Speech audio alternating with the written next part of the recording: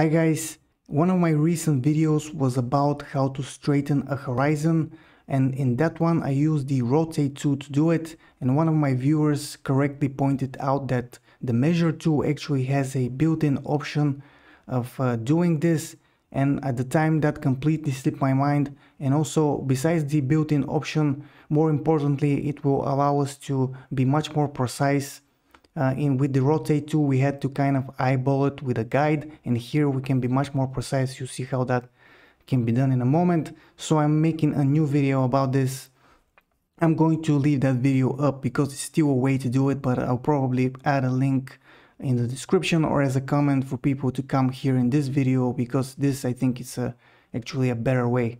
So let's see how uh, we can do this with the measure tool. First thing of course load your image into GIMP. This is another one of my images that I took with very crooked tilted horizon.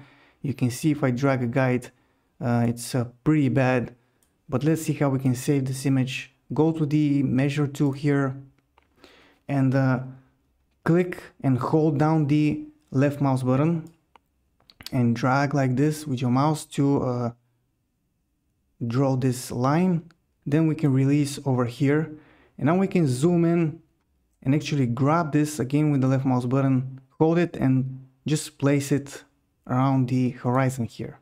You can zoom out come over here and do the same thing.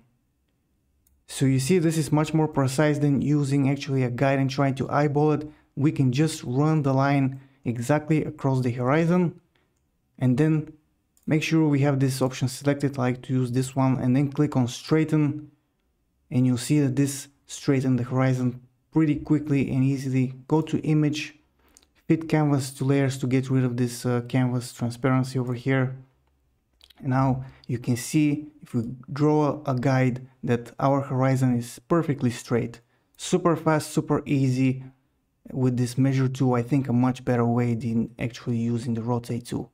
So that's it guys for this quick video. I hope it was useful. If it was, I hope you leave a like, subscribe if you're new, visit the channel for much more. If you have any ideas, comment them in the comment section and I would, appreciate that a lot. And I'll see you guys in the next one. Bye for now.